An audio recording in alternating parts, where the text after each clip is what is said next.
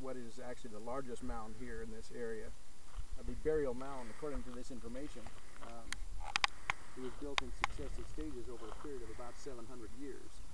Uh, it was used to bury important leaders of this uh, village area, and um, so it served as sort of a grave and probably some religious functions.